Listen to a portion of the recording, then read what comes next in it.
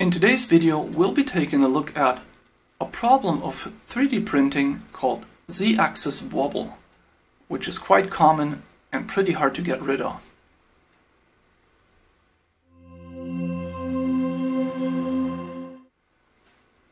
Hello and welcome back. In today's video, I'll be taking a look, a look at the problem called z-axis wobble. Um, I've had this problem with uh, some of my printers and for most of them I've been able to get rid of it, um, but there's one which still has that feature. Um, what I'm talking about is when you have a 3D print and the edges um, in the z-axis direction um, have a distinct feature that somewhat looks like a threaded rod, then you probably have z-axis wobble. What's actually happening when you have z-axis wobble is the following. The threaded, the threaded rod and the nut that is mounted on the threaded rod um, is doing something like either a movement in a circle or even worse, um, the nut itself with the threaded rod right through it is doing something like a belly dance. And this leads to your whole um, x and y axis assembly moving in a circle. And that is basically showing um, on each print when each layer is added on top of the other and these layers are slightly offset in the x and y or if you have a uh, different setup only in one direction. And this will give you edges or slight offset in the edges um, with each print. And this is pretty hard to get rid of. Um, the issue is that for most um, of these nuts, um, it is basically impossible to get the bore and the thread exactly into the middle. Um, with very expensive nuts, um, this error is very small, but if you use uh, simple um, simple threaded rods uh, like used for for for nuts and bolts, um, you will have that. And worse, if the bore is not um, exactly centered but offset, because every time you get one revolution of the uh, of the threaded rod, the nut will actually make a movement like this. And this will amplify because if this is connected to your to your um, to your table, um, you'll have a movement like this. So it's really hard to get rid of this, and there are some things that you can do right, and there are other things that you can do wrong. And me, for example, with my Robin 3D printer, I got it completely wrong in the first in the first go. Um, this here is the part that was holding uh, the z-axis. Um, the normal rod would go through here. The threaded rod would go through here. It would be a bigger one, but no matter.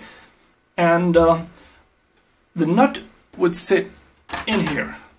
Now, I had the problem that I had the slightly off-center nut, and it would do a movement all the way around here like this and it would do this slight belly dance.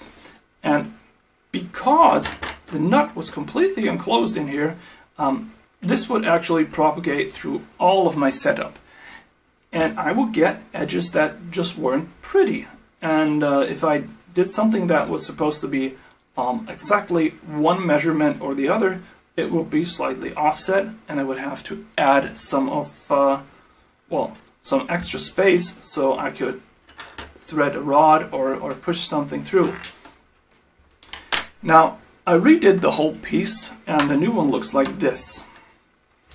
First of all, the first and the biggest change is that the nut is no longer completely held. Um, it is only fastened at the top, so if it's moving in the belly dance fashion, um, it won't propagate that much into the whole assembly. Also, um, there is a slight raise right in the middle here. It's a bit hard to see. Now you can see it right here. Um, because if you get these nuts, you will notice that there's a slight elevation right around them. And this slight elevation is more or less around the center of it. And the movements that you're getting is not as um, as bad around the center than it is around the edges. So if you have an issue like this, you should make sure that you get your z-axis raise value from the middle of the shaft and not the outside. Now what you can do is you can use um, a, a, a separate setup around the nut that is holding the nut and that actually only has like a very centered push rod uh, to your z-axis assembly, but that is very hard to build. So for this go, I've, for one, I've elongated the the part that holds against the shaft so it can actually um, put more force on top of that before bending it. And on the other hand, I've made the enclosure that holds the nut shorter so there is a slight bit of movement that I can actually avoid from getting onto the z-axis assembly. Um, there is a shaft in here so I can actually add another part right down the middle here. I can see better. Um, so I can hold on to the nut. There's, there will just be this little arm that I can glue in there that will hold on to the nut so the nut can't escape um, the mount. Uh, for my printer that wouldn't be a problem, um, but if you have a printer where you have uh, where you have some friction moving down, you might want to add that. I'm, I'm not going to need it. Now, if you look at it in more detail, suppose this was your threaded rod and uh, this was the nut going around it and this was off center you would have a movement like this and you can actually see it moving in the x and y axis. Um, worse if you have it move like this, you can actually see that there's that there would be a lot of error in your print. Now I've managed to get this running with a lot of my printers, but um, my first printer, the Robin, was uh, still missing that feature. Um, and also, these parts are going to be um, on GitHub within about a week. I've got some small kinks to work out, but I'm pretty happy with them. So uh, to mount this, I'm, I'm, going to use the same assembly that I had before. I have uh, two uh, linear bearings. They actually fit in here quite nicely. I will be adding just this tiniest amount of glue uh, to get them from actually being able to move in there um, I've got a spacer and uh, then the second linear bearing is added and then I have these these top hats here um, and that will also be glued on. And when all of this is in place I've got a very rigid setup.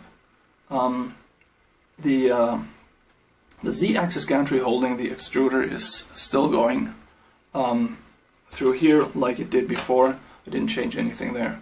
But you can actually see that the the parts holding the nut have become a lot smaller and uh, since the nut is only used to, to push this upwards and let it slide back down and it ne only needs to hold the nut in here um, this should suffice and I hope that the effect that I had been seeing before that I have this distinctive um, pattern in my in all my edges up to the z-axis. I hope it's going to be better. I'm pretty sure it will be. Um, and I can use most of what I had before. Um, I added an extra part here for the um, for the end switch, uh, which is going to make it easier to uh, get the end switch um, to find this part. It used to sit down here, and uh, there's not a lot of space here. This is going to improve the overall build. Um, I'm going to put this together, I'm going to try it out. I'll be adding some uh, some footage at the end of this video. Um, but for a start, that's about it. This is mm, one of my, this is basically the first printer that I invented. And uh, there are still some small kinks in there, but I'm, I'm working them out one by one. And uh, just thought I made this video to explain some of the things that are happening. Once again, thanks for watching, and bye bye.